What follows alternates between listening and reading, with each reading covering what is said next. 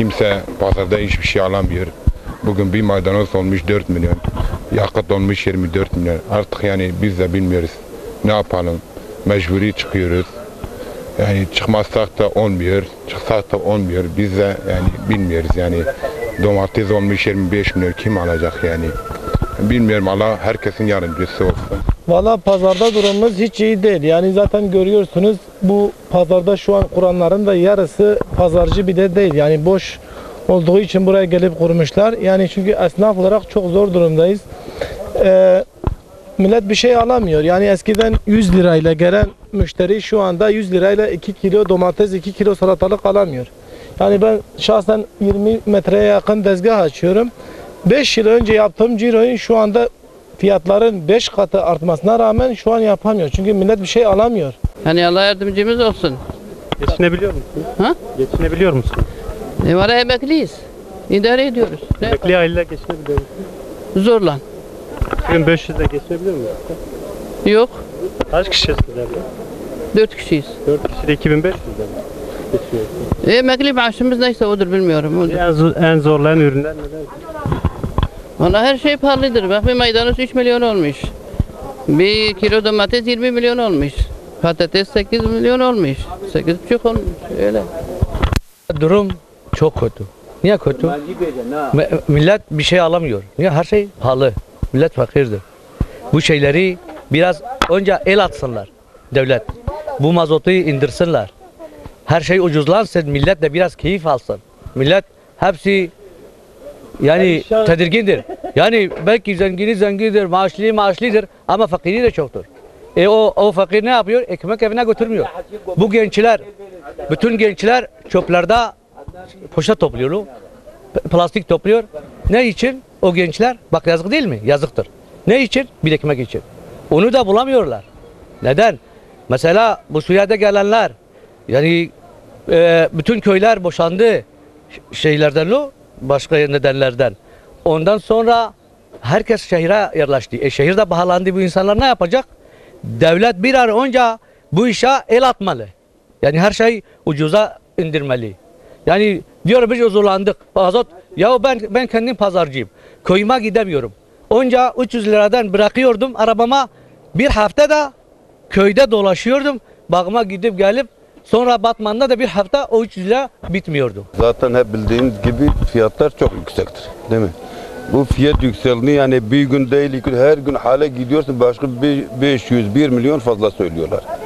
Biz diyoruz niye böyle fazla söylüyorsun diyor ya mazot yükselince her şey yükseliyor. Her şey mazota bağlıyorlar. Geçen sene 6 milyon değil, değil mi? Bu sene 24 milyon. Bir sene içerisinde. 6 kat mı 4 kat mı artmış o arada. Her şey mazot pahalı olduğu için üretim de olmuyor değil mi? E, üretim olmayınca zaten her şeyi ithal edersek ne olur? Pa- Pahalı olur. Bizim milletimiz de yani biz e, bir saygısızlık olmasın bazı kişiler herkese demiyorum. Çok cahillik var. Çok cahillik var. Mesela çiçek ya diyor pahalı herkes saldırıyor. Saldıracağın yerine alma. Bir süreni alma. Kimse ya- yemeden ölmez. Değil mi? Saldırıyorlar. E markette bakı bak tanıdık marketleri tanıyor. Diyor vallahi saldırıyorlar diyor 20, 20 milyon böyle durup dururken üstüne atıyorlar. Saldırmayın kardeşim. Mazot diyor yarın mesela 1 milyon üstüne geliyor gidip kuyruk yapıyorlar. Ya kuyruk yapacağına kontak kapatsana. Çözüm olur mu kontak kapat? Kızım ya şöyle en az bir tepki olur. Yani bu, bu nereye gidecek? Ya burada şeyde bizim Kurtalan'da, e, Kozluk'ta şeylerde e, rahmet ediyor bizim yakınlarımız ölüyor onların taziye gidemiyoruz. Böyle abi. Pazarcıların sorunlarını, sıkıntılarını, vatandaşın gelen şikayetlerini. Ya başlı başına mesela ben bir meyveci sebzeci olarak şöyle söyleyeyim. Ee, yakıt bir, poşet iki. En basit ben kendi işimden örnek veriyorum. Açıkçası her şeyde farklı farklı herkes kendi örneklerini verebilir. Ee, bugün poşetin kilosu olmuş 35 lira atıyorum. Ve de yakıt olmuş 22-25 lira arası. İnsanlar geçinemiyor. insanlar malını getiremiyor. Bir tır bir tır Antalya'dan 10 bin, 7 bin arası gelirken şu anda 30 bine yakın bir fiyatla geliyor. İster istemez bu da meyveye, sebzeye, gıdaya herhangi bir ne ürün olursa olsun e, yansıtıyor. O sebepten dolayı iş olmuyor. Zaten şu saatlerde şu anda pazarın yoğun olması gerekiyorken görüyorsunuz sakindir, bayağı sakindir. Hemen hemen ikindi vakitlerinde belki çat pat biraz oynama olur olmaz. Öyle yani birçoğu insan burada kiracıdır. Kiracıların çoğu geçinemiyor. Pazarın nereden bakarsanız belki 50-60 tane pazarcısı yok. Bir hafta sonra bu 100'e çıkacak, 200'e çıkacak. Yani geçim gittikçe daha zorlaşıyor. Birçoğu kiracıdır. Hem yer hem aynı şekilde ev sahibi değiller. Oradan kiracıdırlar. E, bu durum zaten e, açıkçası hepimiz görüyoruz. E, giden hiçbir şekilde bir durum yok. Ve yani kim burada şu anda bu mikrofon başında ben bunları anlatırken kimin umurunda olup olmadığını da bilmiyorum. Yani Allah hepimizin yardımcısı olsun.